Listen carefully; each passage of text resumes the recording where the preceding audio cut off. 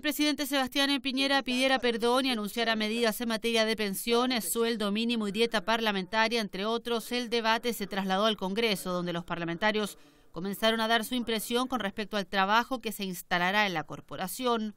Desde la UDI, el diputado Javier Macaya espera que la clase política en general esté a la altura para el debate de temas que llevan pendiente muchos años. La pregunta acá es, si nosotros somos capaces de responder, eh, no solamente con el paquete de medidas, sino que estando a la altura. Para nadie es un misterio que la reducción de la dieta parlamentaria, por ejemplo, no es una medida que, vaya a significar muchos recursos para cumplir un, parte de las cosas que se están pidiendo, pero, pero sí es una señal para devolverle legitimidad al, al, actuar democrático desde el Parlamento. Y en eso creo que nosotros tenemos un desafío súper importante, que es trabajar sin descanso los próximos días, que no haya semana distrital la próxima semana para sacar lo antes posible adelante este paquete. Por su parte, el diputado Manuel Monsalve del Partido Socialista criticó la presencia del ministro del Interior Andrés Chadwick en la sala, autoridad que a su juicio debería haber entregado su cargo junto con el paquete de medidas económicas que tomó el presidente Piñera, la otra medida clara y necesaria era sacar al ministro del Interior,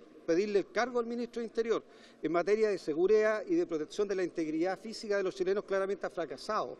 Mantener el orden público no significa matar chilenos, mantener el orden público no significa torturar chilenos ni tampoco detenerlo de manera ilegal. Y ese es un fracaso claro del ministro del Interior. En materia de salud y en relación con los seguros de enfermedades catastróficas y de medicamentos, el diputado PPD Ricardo Celis señaló que se está vendiendo el mismo traje dos veces. No hay ninguna novedad, no están vendiendo el mismo traje dos veces. ¿ah? Eh, aquí lo que se le ha puesto hoy día es discusión inmediata a un proyecto de ley donde lo votamos en general y donde hubo un compromiso de compartir las indicaciones y finalmente hoy día se le pone discusión inmediata sin conocer nosotros aún ninguna indicación. Lo vamos a trabajar mañana porque tenemos tiempos constitucionales para esto, vamos a ser responsables, pero creo que aquí ha habido una, suerte de eh, volador de luces porque esto estábamos trabajándolo. Aquí no hay ninguna novedad, no hay ningún punto novedoso, aquí no se ha adicionado ningún punto a la agenda.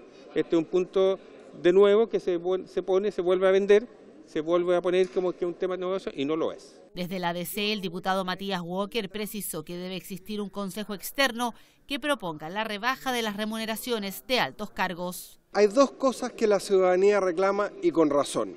Primero, los altos salarios de los diputados y segundo, que seamos los diputados y senadores los que tengamos incidencia en fijarnos nuestra remuneración. Por eso lo que hemos propuesto es que un consejo externo proponga cuál va a ser esa rebaja respecto también de todos los altos cargos del Estado, porque lo, que propongamos los parlamentarios, obviamente la ciudadanía va a encontrar que es insuficiente, que es mucho y por eso nosotros estamos dispuestos a tramitar en el más breve plazo la conformación de ese Consejo para que proponga los rentas de los parlamentarios. A juicio del diputado Diego Schalper, ninguna medida solucionará todos los problemas que se arrastran, pero sí son señales potentes en esa dirección. Yo creo que ninguna medida va a resolver todos los problemas que hemos acarreado durante 30 años, pero sí dan algunas señales. Primero, cuando el presidente pide perdón me parece que es una señal tremendamente potente, porque él no pide perdón solo por él, pide por una clase política que ha sido indolente, que ha sido negligente, y digámoslo con todas sus letras, pidamos todos perdón por nuestra incapacidad de hacernos cargo. Entonces, el paso siguiente era generar un piso de conversación.